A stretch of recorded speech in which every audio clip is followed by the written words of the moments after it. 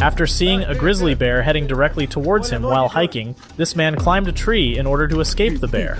As his friends filmed from another tree, the bear begins to claw at the hiker's boots, attempting to get him down from the tree.